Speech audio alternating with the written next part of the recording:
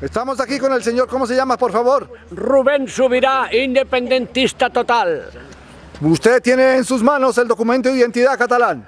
Sí, pero espero cambiarlo pronto por el verdadero.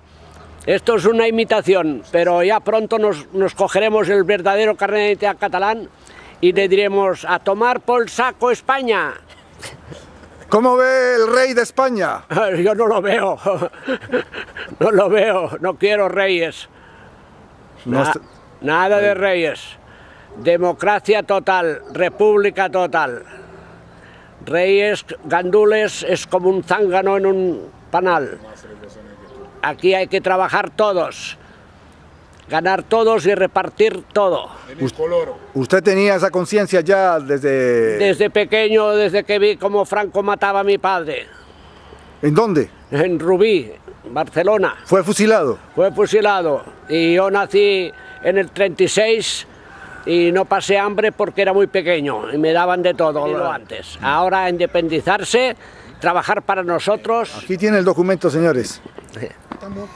Un verdadero patriota catalán. Un patriota catalán, ¿no? Sí, sí, tanto. Ya tengo ganas de, de- de- de tirar esto a la basura. Sí, Pero- señor. Pero para ser buen catalán hay que tener también estos carnets. Vas a, A ver. ver.